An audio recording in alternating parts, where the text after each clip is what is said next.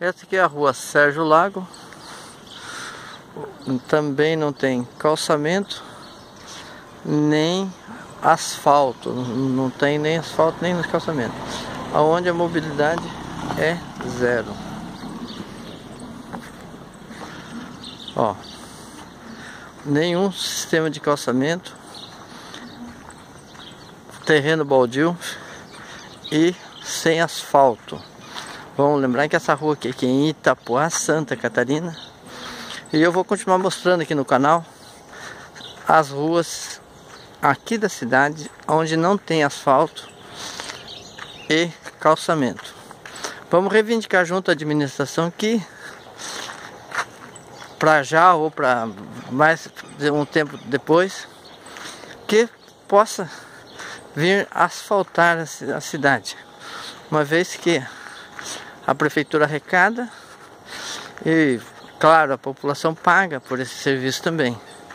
E, portanto, não é justo deixar a população nesse barro aqui. Quando chove é um barro lamaceiro daquele jeito. Então, vamos estar tá mostrando aqui no canal para que a prefeitura tome algum tipo de providência no, no tocante a asfalto da cidade toda essa esses locais aqui, ó.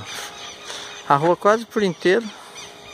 Você pode dar uma olhada, não tem poucas casas em calçamento e de asfalto nada. Hum.